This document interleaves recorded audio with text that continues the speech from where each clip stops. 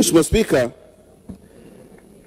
hivi karibuni kuna tukio ambalo lilitokea ndani ya bunge la kuhusiana na mavazi. Mheshimiwa Spika, jambo hili limeonyesha matumaini na kama unavyoona bunge lako limependeza.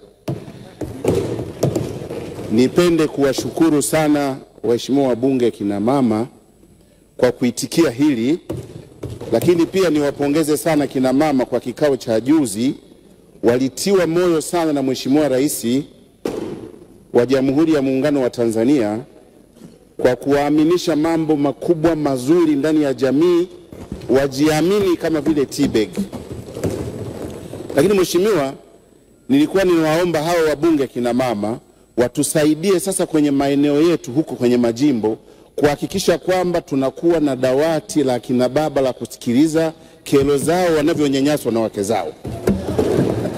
Mheshimiwa, swala hili ni la msingi kwa sababu sasa hivi kuna dawati la kina mama ambao wanasikilizwa, lakini pia kina baba wako ambao wananyanyasika, hawana pa kupeleka malalamiko yao.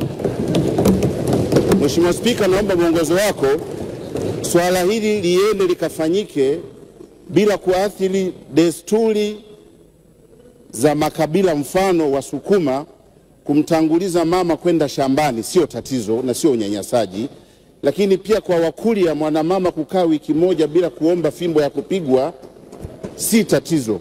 Kwa hiyo Mheshimiwa Spika, ninaomba mwongozo wako kama utaniruhusu kwa hili ambalo limefanyika kwenye mavazi, naweza nikatoa kina mama mfano wachache tu wamevaa vizuri sana.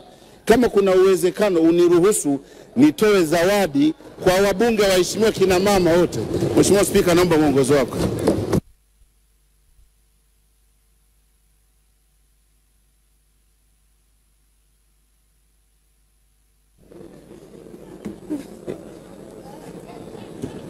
Mheshimiwa mbunge wa Nyang'hwale unachokoza nyuki.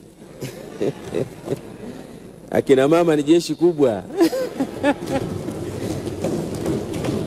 Juzi tu hapa walituacha peke yetu humu ndani, tulitetereka tukabaki wapweke.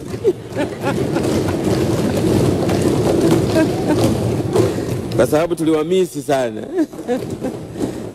Japo tulijaribu kutengeneza njama hivi tupitishe sheria moja ya haraka haraka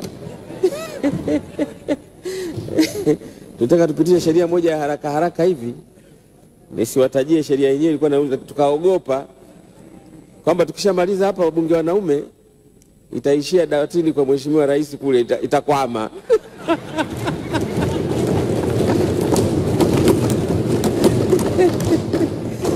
lakini kwa kweli tunawapongeza kwa mkutano wa juzi wa wanawake ambao ulihutubiwa na mheshimiwa rais. Ulikuwa mkutano mkubwa wa aina yake uliofanyika hapa Dodoma. Ama kweli wanawake wa Dodoma wanaweza, waliuandaa vizuri sana sana, na mikoa mingine sasa muige e, ile maka ambayo imefanywa na Dodoma. Nikubaliane na mheshimiwa katika baadhi ya mambo na baadhi ya mambo amechapia utani kidogo. E, kwa kweli panahitajika dawati la wanaume mahali kweli kabisa. Tukienda na mwendo huu tukadhania wanaume wako okay, wanaume wana hali ngumu sana, ila wamelelewa katika msingi ambao hawasemi, wanagumia tu mm, mm. Sasa hawa nao wasaidiwe jamani, nani akina mama nyinyi hawa mwapiganie, maana nyinyi wenyewe na nyinyi mna watoto wa kiume, si ndio jamani? Tuangalie, wako wanaonyanyasika kweli kweli, la sivyo. Lakini lile dawati nadhani ni la jinsia, si ndio? Sio la wanawake lile, si la jinsia eh? la pande zote mbili, lakini ukienda pale unakuta mwanamke ndio yuko pale. Sasa haki yako kweli? Basi imechukuliwa, ngoja tutakuja kuiangalia kwa aina yake, lakini tutamwomba Mheshimiwa Rais siku nyingine aite mkutano wa wanaume tu, na sisi na sisi tu revenge, ili wanawake waone wakwetu utakavyokuwa mkubwa zaidi ya wa kwao.